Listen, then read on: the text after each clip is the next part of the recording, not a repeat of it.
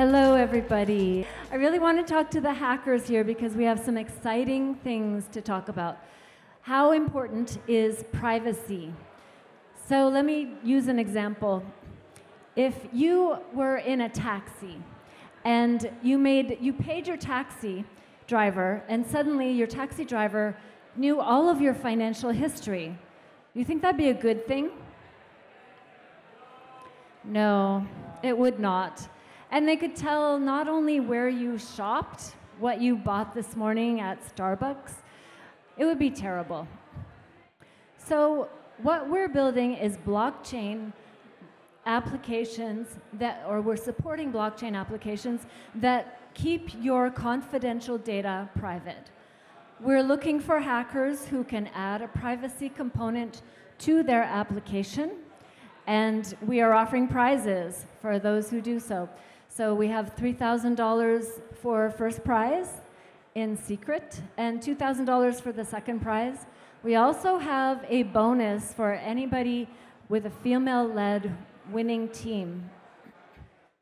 So what we're looking for is creativity, utility, functionality, and then we have um, some other things that Guy will tell you about. We have several options for privacy, and we invite you to build with both of them.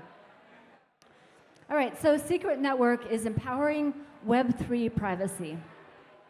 Um, you can build on Ethereum and then leverage our privacy as a service to handle your sensitive data, your confidential data, and thereby protect your users from having their data openly readable on the blockchain.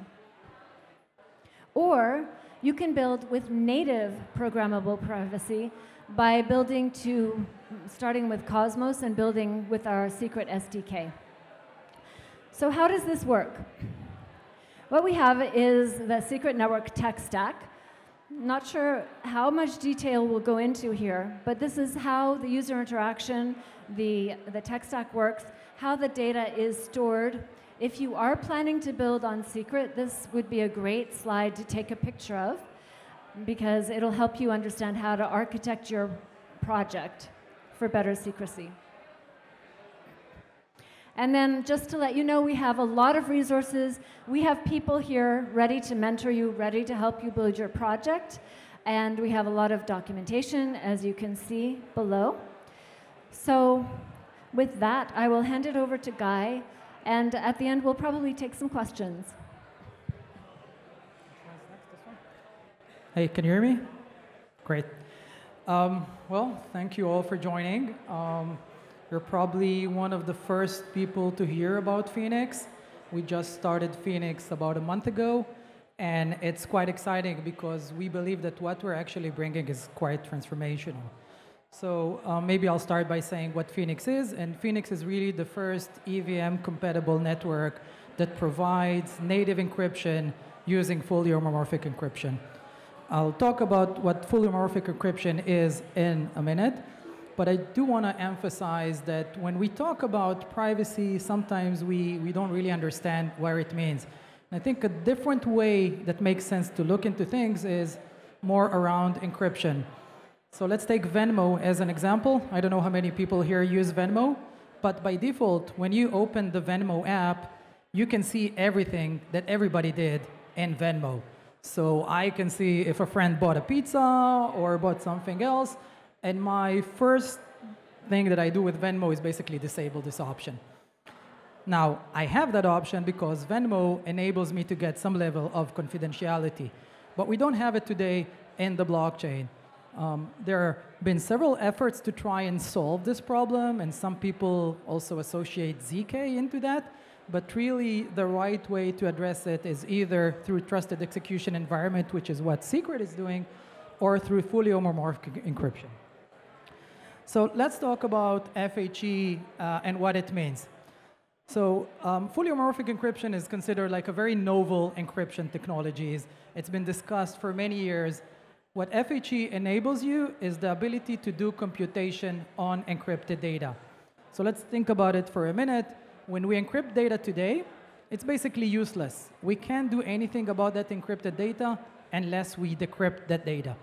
But with fully homomorphic encryption, it, we actually have the ability to do operations on data while it's encrypted and get an encrypted output. And uh, the, the key challenges that were associated with FHE uh, in the past was that it's very complex and very, it's very slow, but all of that has actually been mitigated, and we believe that it's a great fit for blockchain. And what FHE enables us to actually is to get encrypted transaction inputs, encrypted state updates, and encrypted storage, which basically gives us end-to-end encryption for Web3. Now, I know it may sound complex and, and, and maybe a little bit scary, but actually we've done it uh, in a way that is very easy to deploy. So we're introducing an FHEVM, which means that if you're a Solidity developer, you can basically just you know, use your Solidity background. You don't need to be a cryptographic expert. You don't need to learn a new language. There is an additional library that you can use that will enable you to decide which asset you want to encrypt. And that's it. From that moment onward, the assets that you encrypt are stored encrypted on the blockchain. You can share them with others. You can you know, give them permission to see that, or you can see it. But the network itself is always encrypted. So uh, we did a hackathon um, two weeks ago in ETH Paris. That was the first hackathon that we actually introduced Fhenix to the world. Um, and I was quite amazed with what people were able to do in 24 hours. Um, I'll, I'll, give a, an example of a couple of use cases in a minute, but you can see the developer feedback. It's a very interesting area to, to, to learn. I think the business opportunity is quite high here, and uh, we would love to have you all explore this. It's not very complex. We have documentation. Uh, there is a great video that can really help people on board quickly. Um, so some use cases that you can consider uh, when you're joining the hackathon. So on-chain gaming. This is actually a very cool example to consider if you want to build something that utilizes both Fhenix and Secret, because today we don't have any randomness on Fhenix. It will be added in the future, but you can actually get the randomness from uh, Secret and use that for your Fhenix smart contract. Now, why do we care about on-chain gaming? Because if you think about poker, you can't really do poker if you don't have any level of encryption whatsoever on the network. So that's going to be a really cool use case. Uh, private market for event tickets, if you want to share event tickets and use it in a confidential way. Private votings for DAO is another interesting use case. Crowdsource AI models, privacy preserving KYC, and also, you know, even dark pools for early investors uh, I just I wanted to add one more use case that we don't have here, which is I'm really interested in seeing some medical or healthcare use cases where we can see that customer data, private sensitive data, is not exposed on the blockchain but kept in a secure environment. Yeah, I met a few folks when we were doing the mentorship hours, and they gave the example of they want to build a solution that actually takes medical data, put it on chain, how do you maintain the privacy of that? How do you do operations on that? So either Secret or Fhenix actually makes it very uh, easy to, to perform.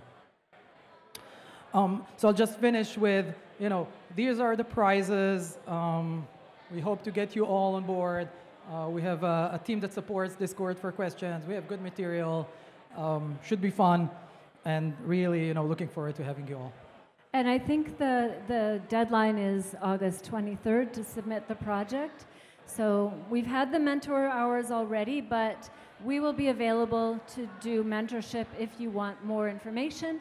And also, we're planning a Zoom workshop with those who have expressed interest. So make sure you register interest with us if you want to um, participate in these prizes so that we can reach out to you and help you, give you some basic information that will help you get started really quickly. Um, as far as I know, that we entered a little bit late, so there's quite a lot of opportunity to succeed in this track. You can probably get one of the prizes if you decide to enter. And uh, we make it as easy as possible with, uh, with help and documentation. And other people who've done our hackathons have said it was so easy, it was great, and, and they got a good result. So we invite you to join us and, and hack away with us. Yeah, we have a booth just on the right side there. You're more than welcome to come and chat with us. Thanks. Yep. Thanks, everyone.